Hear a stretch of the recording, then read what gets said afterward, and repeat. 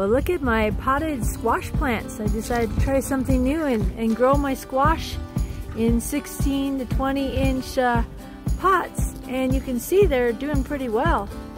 It's actually growing pretty good size in these pots. It's a, kind of a nice way to, to get the soil a little bit deeper. I have a bed that's kind of shallow. I tried to grow them in.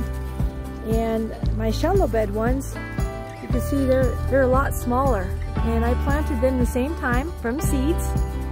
And the shallow bed is only about eight inches deep compared to my, you can see my 16 inch pot right here. Look how big that guy is. And they're growing better than they do in my more shallow garden bed set up right here. I think next year I'm gonna grow carrots. As you can see I have some carrots flowering back here.